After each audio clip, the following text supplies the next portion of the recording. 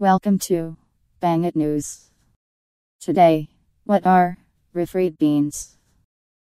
Claim Refried beans are beans that have been fried more than once.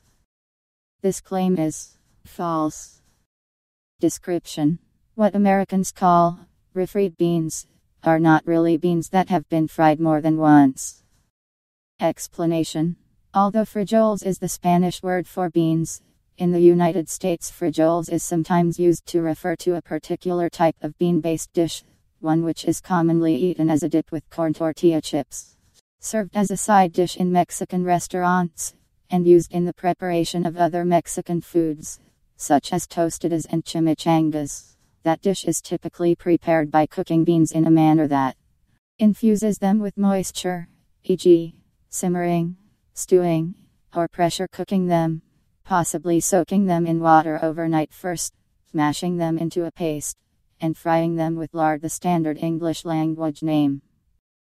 For this culinary concoction is refried beans, a term that has given many people, myself included, pause to ponder the question why would beans need to be fried more than once?